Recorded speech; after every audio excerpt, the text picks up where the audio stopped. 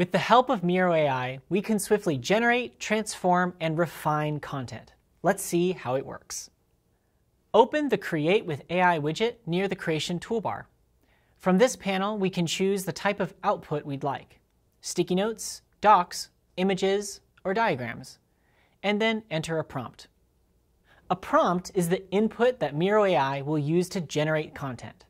Notice that when we select an output option, we are offered some prompt suggestions already. These are great jumping off points. But don't forget that we can always edit the suggested prompt however we'd like, or write a completely new one. Generally speaking, the more details and context we add, the better Miro AI's output is likely to be. Which leads us to one of Miro AI's most powerful features, incorporating board content into our prompt. With our prompt entered in the box, we can select content on the board. Notice that Miro AI indicates that this content will now be used as additional context. This will greatly enhance Miro AI's output, and we won't have to waste time re-entering any of it.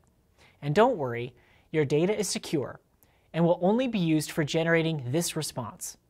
Visit the Help Center to learn more about data security and Miro AI. When we're happy with the prompt, we'll click Generate and let Miro AI work its magic. As is always a good practice when working with any AI tool, we'll be sure to check the results for accuracy. And remember, if we aren't happy with the initial results, we can adjust the prompt and try again. Or directly tweak the output, using what Miro AI generates as more of a starting off point. One last thing.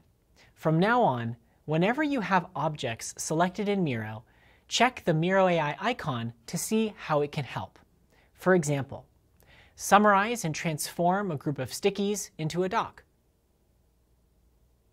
Or quickly edit and refine something you've written.